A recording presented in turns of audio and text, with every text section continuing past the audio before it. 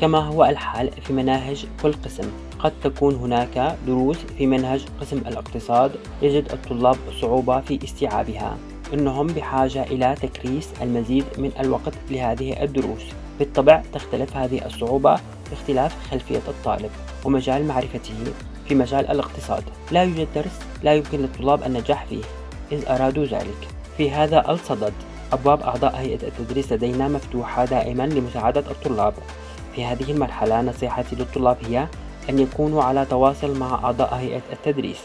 نصيحتي للمرشحين الذين سيختارون قسم الاقتصاد أن يأخذوا الحياة الجامعية على محمل أجد ويزيدون من معداتهم اعتمادا على التعليم الذي يتلقونه. لأن المعرفة بالاقتصاد فقط ليست كافية. بالإضافة إلى ذلك يعتبر الاقتصاد فرعا من العلوم.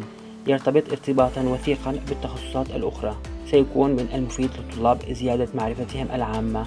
من خلال تثقيف أنفسهم في مواضيع مثل علم الاجتماع والفلسفة والتاريخ والقانون. هناك العديد من الخدمات التي تقدمها جامعتنا للطلاب المحتملين الجدد.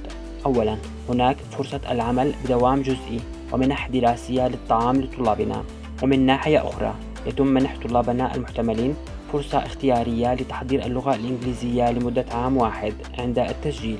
يوجد في جامعتنا مكتبة جميلة ويتاح للطلاب الوصول إلى كل من الكتب المادية والرقمية. بلجيك تقع بالقرب من إسكيشهير وبوصة وكوتاهيا وسكاريا ومدن حضارية أخرى وهي من المحافظات ذات الأولوية من قبل الطلاب. لا يواجه طلابنا أي صعوبات فيما يتعلق بفرص النقل والإقامة. يمكن لكل من السكنات الحكومية والسكنات الخاصة والشقق الفردية تلبية احتياجات الطلاب. عندما يختار الطلاب قسمنا سيكون من المفيد لهم اختيار من خلال النظر إلى أعضاء هيئة التدريس بالقسم وفرص الإقامة وفرص النقل. أتمنى التوفيق للطلاب الذين سيدخلون امتحان الجامعة. أدعوكم جميعا إلى جامعة بلجيكشي إديبالي في كلية الاقتصاد والعلوم الإدارية في قسم الاقتصاد.